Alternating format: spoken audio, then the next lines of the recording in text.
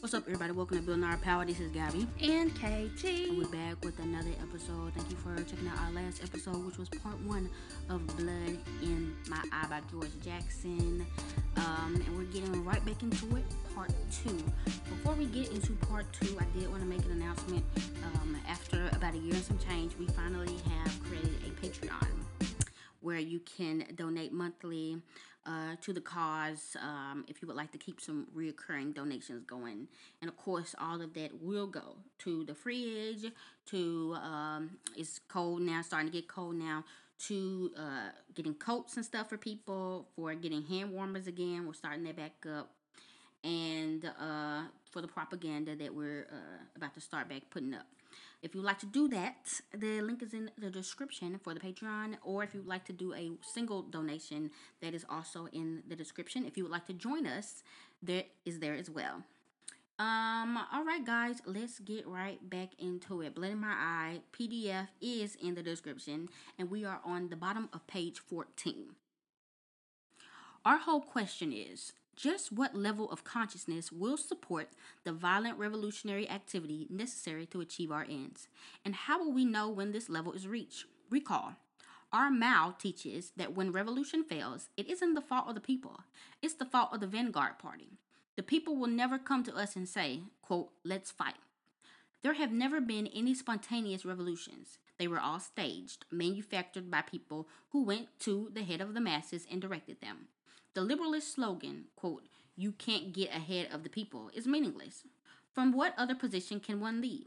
From the rear? Rear guard leadership? A typical Yankee innovation. I think most of these irresponsible excuse slogans are based on dread. A secret wish to avoid the discomfiture of people's war. In a successful class struggle, the colonial wars of liberation, the vanguard elements did get ahead of the people in pool. There is no other way in forward mass movement. A vanguard which fears that consciousness will outstrip spontaneity, which fears to put forth a bold plan that would compel general recognition even among those who differ from us. Are we not confusing vanguard with rearguard? I'm not implying that the vanguard party act out of the people's role. I'm not implying a quote society superior to society unquote. We must never forget that it is the people who change circumstances and that the educator himself needs educating. Quote, going among the people, learning from the people, and serving the people, unquote, is really stating that we must find out exactly what the people need and organize them around those needs.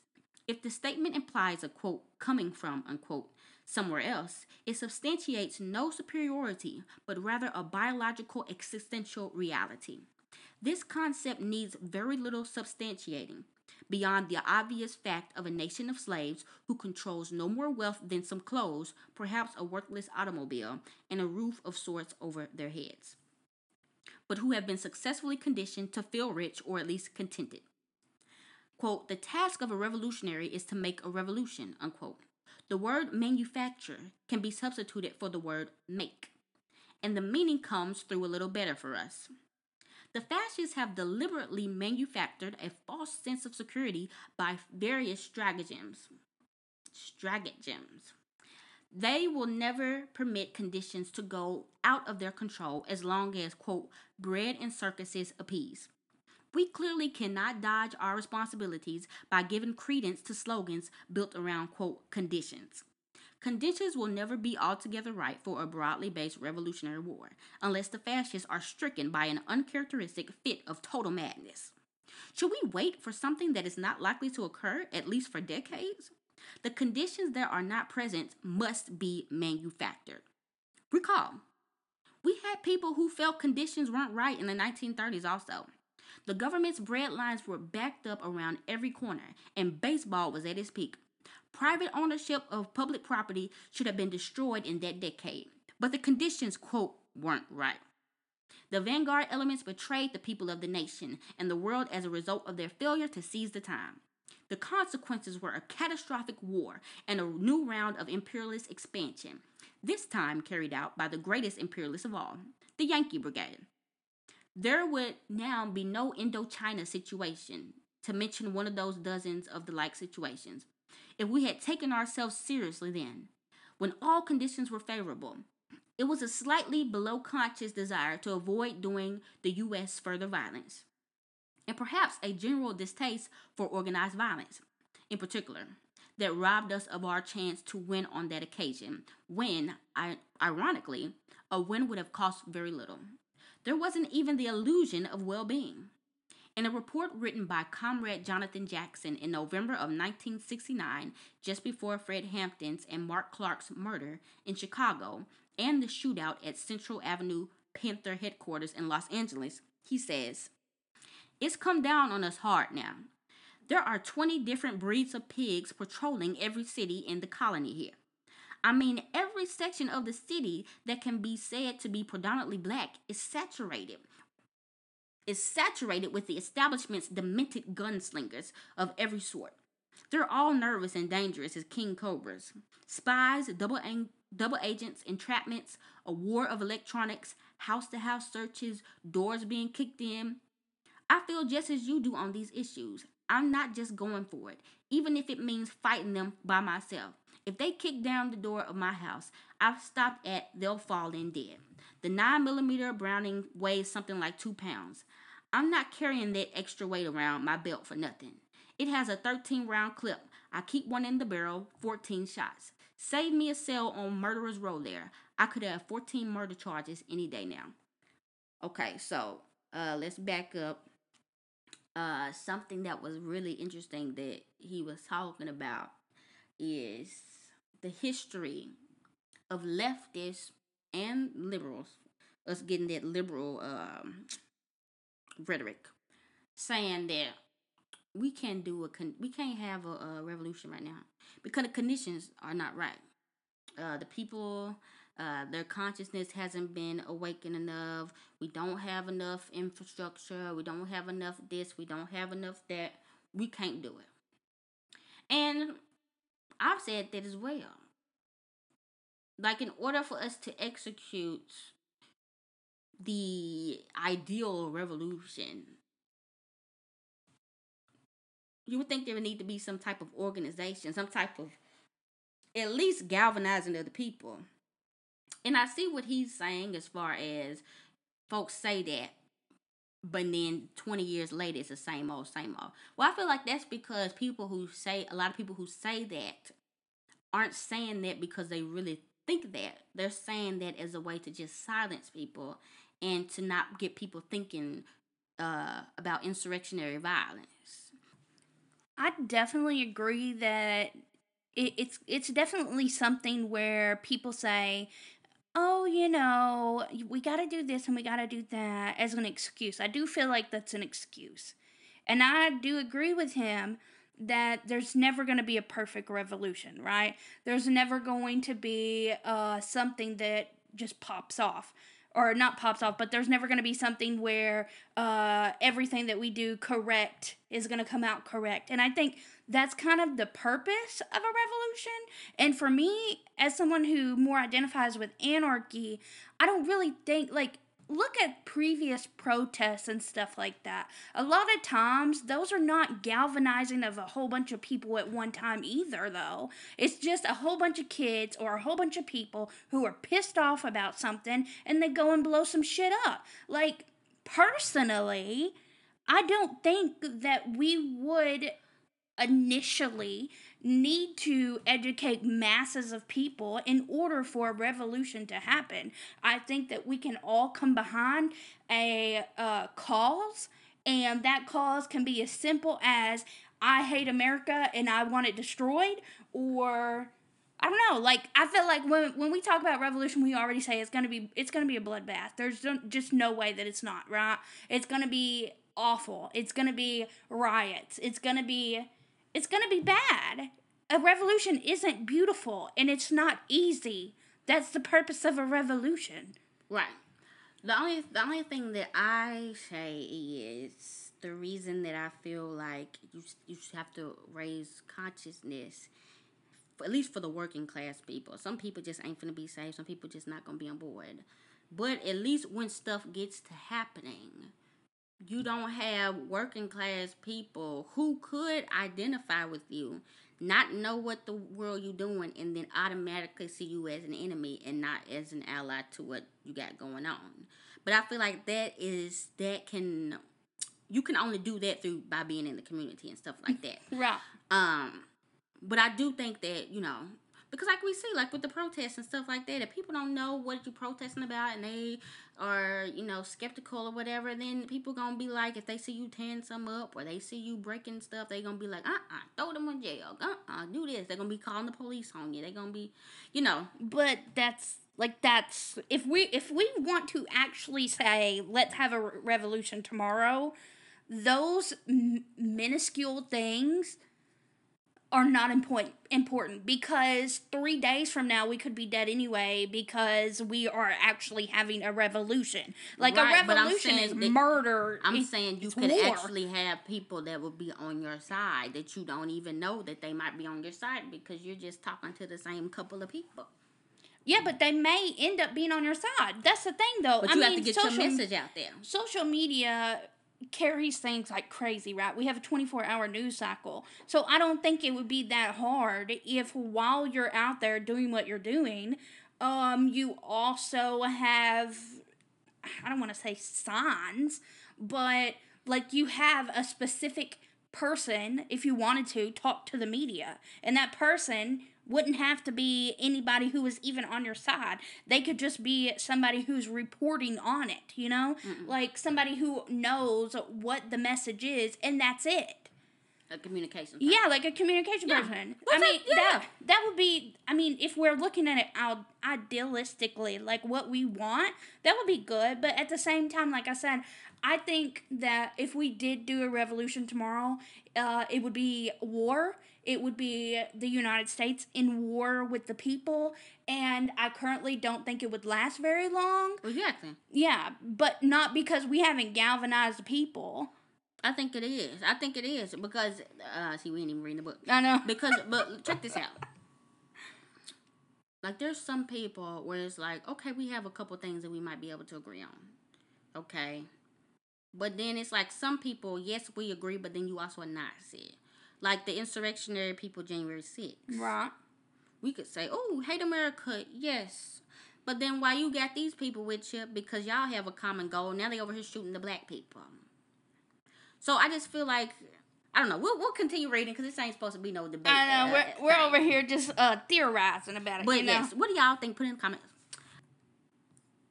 Try to get the picture down every through street they cruise, just a few moments apart at most. Sometimes the stupid bastards are bumper to bumper. Each one of the cruises has a different residential street here in the black communities that seem to belong to them. It's pattern. Let's say two pig cars, P1 and P2, are both traveling south central south on Central. They'll patrol six to seven blocks on the main street. P1 will then make a left on 50th Street. P2 will make a right on 50th Street, etc. It works out so that each couple of square blocks is in effect always surrounded, cut off, divided, subdivided. Repression is here. I followed them, studied them, hold a few of their cars. You should see how they'll run when they can't tell from exactly what quarter they're drawing fire. We overestimate them, or perhaps have little sense of our own power. In the short run, and here I mean in an isolated tactical operation sitting within a particular political design, with military weapons, we could easily outgun the establishment's first line of defense. What, for example, would the city pigs do if they were confronted by a 38 snub revolver in the hand of a brother who's fired the 38 perhaps 10 times in his life? Then take the same situation, but give the brother a flamethrower stolen from the military. Give the brother an armored van from inside, which he could use said flamethrower. Give him also two comrades in arms, one equipped with an M16 machine gun, the other an anti tank rocket launcher. Pigs are punks. Give me 10 cells armed, as I've just mentioned, and we could start to enforce some of the demands of the people. Their present show of strength is actually their weakness show. They're too visible. Comrades ask me sometimes, what can we do against all the pigs? I stated simply, you put them to death. They look at me as if to say, you're nuts, man. When I go about my explanation, their eyes go blank, or they're distracted by something five blocks down the street. They're not hearing then. So what's happening? The things I say for us smile seem too fantastic for them to even listen. Yes, it doesn't seem fantastic for those for them to go against the LAPD with a snub-nosed revolver. There's a great deal of work to be done with ourselves yet. But the day of the real dragon is coming. Long live the guerrilla. Jonathan was 16 years old then, and he had just that year been allowed to drive a car. He liked to drive and observe. He had long since learned to, to like to fight. Guns and weapons in general were his forte. I carefully reminded him that even vanguard violence was organized violence. He returned one of Fanon's lines, quote, It's time for the talking to end and the acting to begin. In another of the reports, after the Chicago murders of Hampton and Clark and the five hour shoot at Black Panther's headquarters in Los Angeles, he writes, the fact of American terror, slave existence in general, seems to have almost destroyed the nervous system of the black men here. They are frightened and feel they are smart for being so. Those that were unaffected, those that escaped, those that refused to be intimidated, dismayed, prudent to the point of cowardice, have either joined or supported the Black Panther Party. They get down pretty cold. One point needs to be cleared up, however. I recall you remarking that in an urban guerrilla situation, the military proper must be hidden, separate from the political front, since unlike a classical Malgai countryside struggle where the enemy's principal forces are 30 miles down the road, with us the enemy is all around, within a few moments of the strike. There should, I feel, be a branch that is purely political, operating the rent strikes, the breakfast, breakfast programs, the People's Bazaar, where all sorts of food and clothing, utensils, and tools are sold, hospitals or clinics free, of course, and what I will term cottage shops to employ those who will work for the new medium of exchange. Love and loyalty at such things as the makings of clothing and canning of the food for the people's bazaar. There should be the super secret branch to enforce. The military, the comrades with the nervous equipment to make the best use of the M6 M60, the M16, the flamethrower, the hand grenade, the mortar, our armored vans, and equipped in front and plenty of gun ports, bulletproof tires, etc. You dig?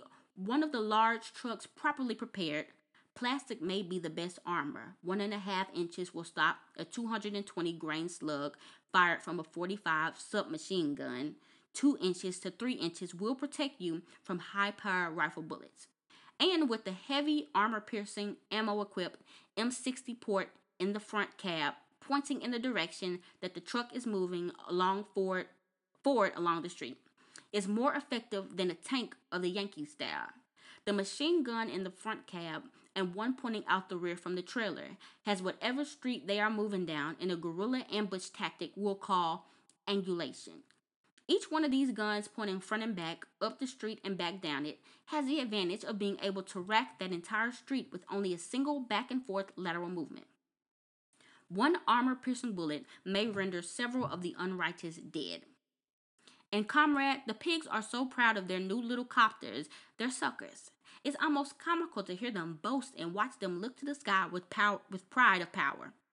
The pig who will get up in one of those things is as stupidly suicidal as a duck trying to outflow a charge of a 12 gauge shot. The fierce and beautiful Cong shoot down a couple dozen of their biggest and best copters. Yankee invention can produce every week. These things that the pigs use are toys, sitting ducks. One, I mean one solid or armor piercing 30 caliber bullet aimed at one of those several points the tail rotor, the hub of the main rotor, or even the operator will reduce $200,000 worth of Yankee intervention to crap. I was pursuing this joke of a secondary education when the whole thing occurred, but acting with my small thing would have hardly helped me much. Though it may have helped raise consciousness some, the Besiers attack from the rear. The idea of it strong. Militarily, it would have demonstrated to the pigs that the Panther Party is not out there on limb alone. And of course, it would have promoted among the people the confidence of ability we always speak on when we're together. How would they have felt, the pigs and the people, if the nameless, faceless, lightning swift soldier of the people could have reached up, twisted the tail of their $200,000 death bird, bird, and hurled it into the streets? Do the conscience broken in a blaze? I think that sort of thing has more to do with consciousness than anything else. I can think of. Long live the Panther, power to the people who don't fear freedom. Jonathan was 16 years old then, I repeat. So, this was uh, George Jackson's brother, um, who eventually was murdered by the pigs as he was trying to uh, help uh, rescue his brother and, you know, pretty much do an Assata Shakur. Um, but uh, overall, what, what he's talking about is with organization and with a few powerful weapons, there is a lot that could be accomplished by the people. And uh, we ourselves just don't know how powerful we are. You know, we hear all the time, and even back then, I'm sure, you know, you're not gonna last in a fight with the military. You're not gonna do this. You're not gonna do that. But we gotta think about it. The Vietnam, y'all seen them documentaries? They fought like hell. Yeah, they did, and they were poor. And they were poor. They didn't have much. They had a little bit of funding, but barely. And they was able to defeat America. America gets beat all the time by people. And for us, it's just we just have to we we just have to have confidence in ourselves and know that things can be accomplished. Um, my thought process is is that I feel like nowadays because we have so much media like celebrities and we've became uh so engaged in that or like material possessions and things like that like people are less likely to be talking about political movements than they probably were in like the 60s do yes, you think? yes. Yeah Uh, so yeah. I I feel like and and I think that's by purpose, right? Yeah. We always talk about I always talk about propaganda cuz that's that's the number one thing I feel like right now if we could just stop like all of the extreme pop propaganda that the United States pushes out, that would at least give people a chance to think logically. Um and so yeah, that's kind of my thought. hmm I, I would like to one day do a personal study on uh, you know when did celebrity i mean celebrity has always been big there's always been celebrities it's always been a part of american Right. culture but when did it come to the point where it's like celebrity is god status celebrity is like i tie my identity to this celebrity if this celebrity does good i then feel like i'm doing good in my life um Like when did that get to an extreme? Really? to to when people are like starting to like it's really like daydreaming. Like you see Megan Thee Stallion doing good, she on TV, yada yada yada. Yes, I'm proud for her. I'm proud for her. Dopamine hit. Somehow I feel like my life is better for a second. and it's like what um or like you actually know them and then you're like throwing death threats at somebody that you don't even know on the internet like defending meg the stallion or defending other people other celebrities Yeah, I saw some dude, and we're gonna get into it. I saw some dude, some little, I guess he part of Nation of Islam, but he posts on, he posts on this Memphis page that we have. Memphis Raise Your Expectation, check it out. But I literally had to talk, I was trying to get an understanding from this guy. Okay, we ain't gonna talk about Kanye like that, but we, but he posted, like, this is the Nation of Islam, okay? Farrakhan, Malcolm X, everybody he literally said that the Lord was using uh Kanye West exposing everybody to help uh liberate the black people. And I just had to like get clarification because I know that's not what that's not what they teach up in the Nation of Islam. And I know that's not with anybody who had any sense of uh seriousness would say. Um and I just had to think about like we are so devoid of leaders. Not saying we need a leader, but we're so devoid of real radical leaders. Think about this. or real radical like like teaching propaganda yes. like period Or just radical, just seeing radical people on television. literally That how do we go from Malcolm X, Huey Newton, Assata Shakur, uh, Kwame Ture, People who literally at some point in their lives was like, we need to get a revolution. We need to start a social society. I'm dedicating my life to the people. We have to do stuff for ourselves. How do we go from that to a man who wants to sell some clothes and be kick in with some white people? Wants to marry white people, wants to talk like a white man. He is a good person. He is the leader. He is the voice. That is ridiculous. That is that is so side. That's a whole nother level of psyop. Like we have gotten so twisted. That's sad. I don't think I don't think it's it's such a crazy idea. I really don't. Because like like we talk about like most of what you see as liberal or progressive in this world is very uh, surface level everyone remembers kanye saying that about george bush right everyone remembers that even i was i was probably too young to even care about politics um, but i still remember that and i remember people talking about it and so i do i personally think that we have drank the Kool-Aid for better of a better uh, for better words. We've drank the Kool-Aid for just so long that it just it doesn't seem crazy for That people to believe that, that. you think that the cyanide is real Kool Aid now. You Yeah, drank it that's for so correct. long that literally you don't you can't And- decipher between the real or the cyanide. Here's the thing about that guy with the Nation of Islam is aren't they like uh very hierarchical and things like that? Mhm. Right. So it's possible too that he still has to uh, subscribe to some white supremacist ideals Yeah. in order for him to believe that you know he's the head of the house and he's the top of the hierarchy of or whatever. Oh, yeah. So Yeah, you know it's not too to me it's not too big of a stretch for people like him um to believe in that, especially if especially if you've got propaganda 24/7 coming at you. Right. I'm just saying, yeah. like in the course of history, like if if people if our uh descendants a thousand years from now were to look back Mhm. and be like, damn, y'all really what?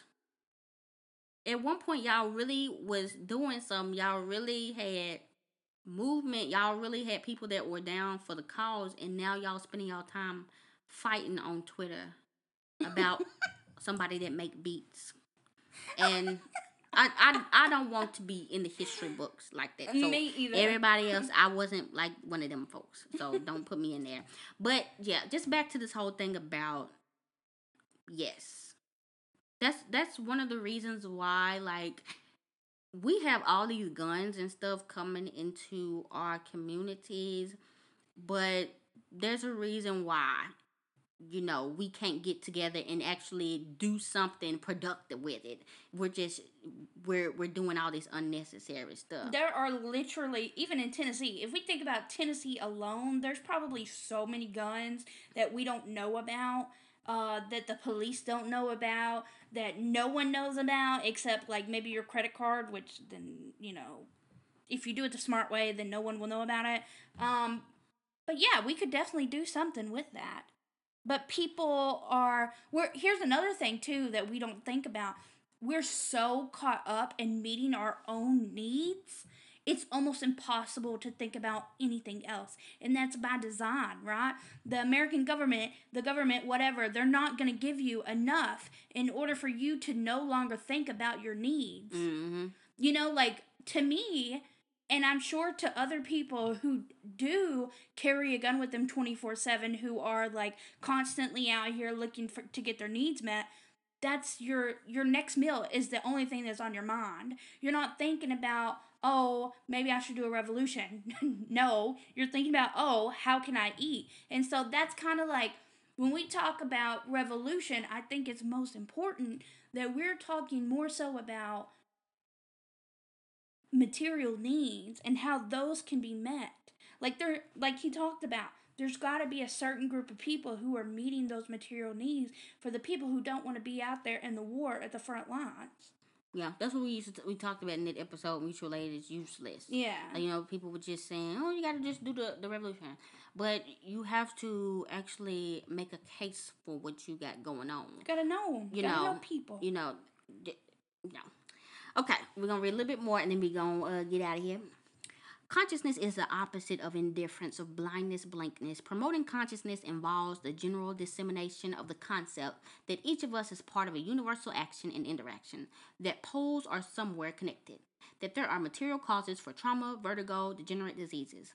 Connections, connections, cause and effect, clarity on the relation and interrelations, the connections of the past, continuity, flow, movement, the awareness that nothing, nothing remains the same for long.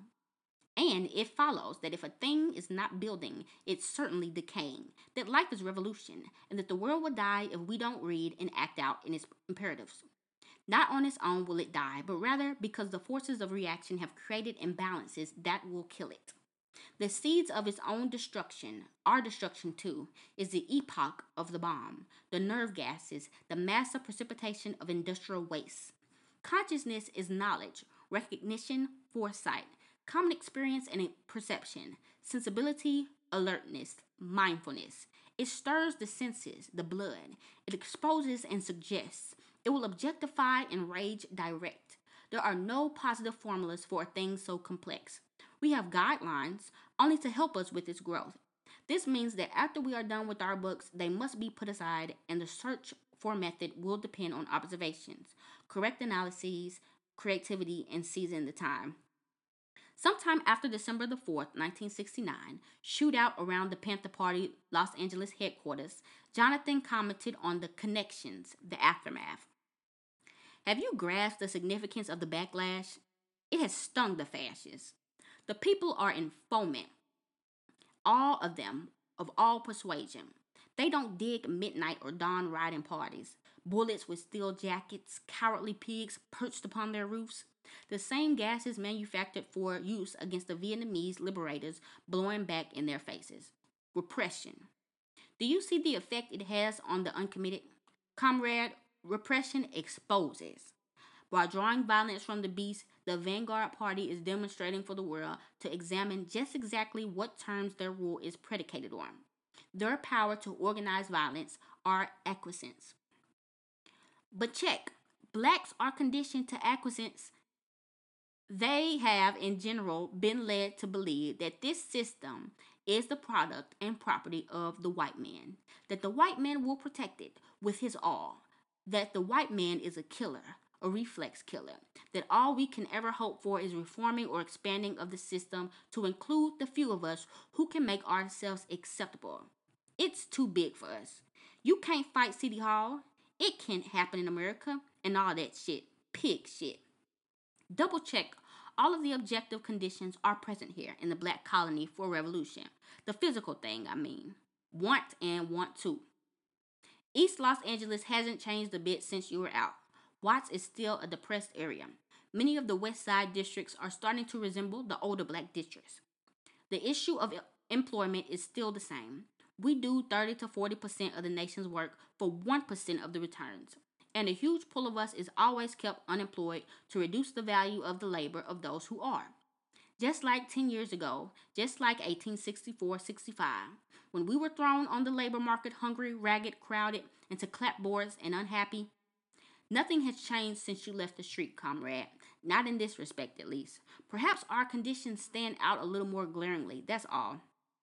But you know what's been building? The vanguard has viciously attacked the system, the omnipotent system attacked by the slave. Sort of like the worker bee growing so disgusted with the quality of his life that he turns and attacks the bearer. The other bees will understand, they do understand, and all sorts of bees, even those who thought the bear their rightful ruler, see him differently when he foams at the mouth and bites at his own tail. I think you are on the right track with this idea concerning repression. It is, it has to be, a part of the revolutionary process, a necessary stage in the development of revolutionary consciousness. The situation being as it was and is. The black experience is what I'm referring to. The milder lynch example, type rep- repression, is accepted by us as a necessary part of life. But the new harsher thing brought on by the political thrust of the Vanguard Party serves to show even the most tractable of the reformers among us that, firstly, the system will not or actually cannot meet our demands. Secondly, it clearly illustrates the real terms of our existence under capitalism, the nature of it, and how foul a piece of the pie would ever be if we could have some. One fundamental problem remains the survival of the vanguard political party, and I mean in good form. We must think to the righteous fielding of the clandestine army. John. All right, that was page 25. Okay, so, um, of course, this is uh, George Jackson's brother writing back to him after the shootout, saying how, you know, after that went down, people started side eyeing the cops even more and being like, hmm, interesting and about how that was a way to to you know expand consciousness allow people to see you know mm, something isn't right something something mm. and then them seeing that you know people were willing to fight against the cops it kind of piqued something in their brain like hmm you know they may not fight but they may have some type of empathy towards you. It may get them to thinking. It may get them to questioning things. Them saying that you are so fiercely fighting against something they thought was unfightable. But yeah, so that's what we have to do. We have to, you know, in our daily lives, inspire, inspire people, and be like, hey, you ain't got to do this. I ain't doing this. Look at me. I'm I'm I'm uh filming the cops when they over here doing something. I'm uh not letting them disrespect me. I'm uh, you know, bending a little this, bending a little that. And we can do and I'm gonna do that because fuck them folks. Uh, you know, that's we're not really saying this, we're not really saying that. This is all educational. For legal purposes. For legal purposes.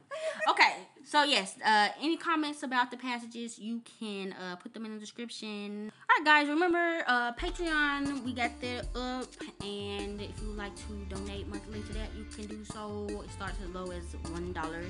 Um, if you would like to give singly, you can do that as well. If you like to join us in Memphis, you can do so. Links, links are all in the description. Um, thank you everybody for checking this episode out. This has been Gabby and KT. This has been Building Our Power.